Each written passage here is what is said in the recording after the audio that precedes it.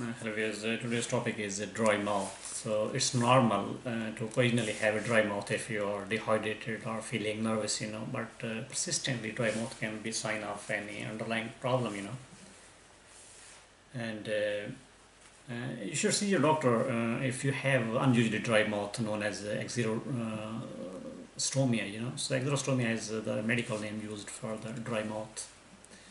Uh, so that uh, uh, your doctor can determine the cause of the um, this persistent dry mouth you know.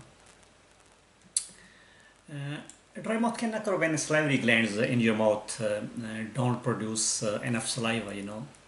And this is uh, mm, uh, most of the time is a result of dehydration which means that you don't have enough fluids in your body to produce the saliva and uh,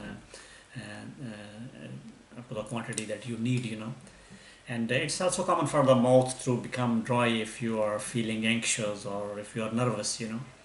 Uh, so uh, a dry mouth can sometimes be caused by underlying problems or medications uh, such as uh, like uh, many different medications can cause dry mouth uh, including like uh, antidepressants or antihistamines you know and diuretics as well you know?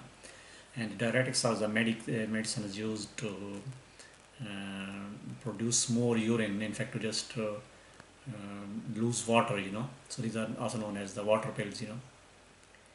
Uh, or the blocked nose you know. So the breathing uh, through your mouth while you sleep can cause your dry mouth you know. And diabetes is a lifelong condition that can cause person's blood sugar level to become too high. So uh, it can also cause a dry mouth you know uh, radiotherapy uh, is one of the other causes you know. And um, there are many other underlying conditions as well you know. So uh, you need to treat the root cause that's causing your mouth to dry you know. Uh, saliva plays an important role in keeping your mouth healthy and uh, if you have dry mouth you may experience a number of other problems uh, um, because of uh, this you know like uh, burning sensation or soreness in the mouth you know or dry lips or bad breath and mouth infections such as uh, oral thrush, you know, or tooth decay and gum diseases, and difficulty in speaking, eating, and swallowing because of the dry mouth, you know. Uh, so it's important to maintain good oral hygiene just to get um, rid of this uh, dry mouth, you know.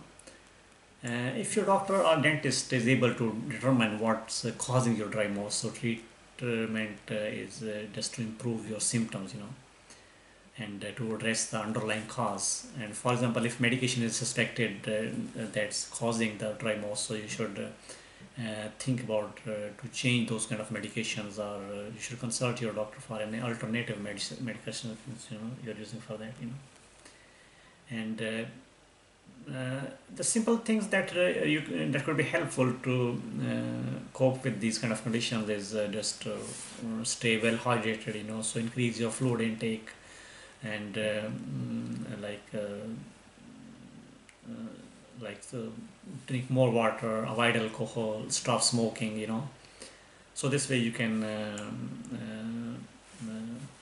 uh, treat. Uh, these are the home remedies, you know, so that these are very helpful just to uh,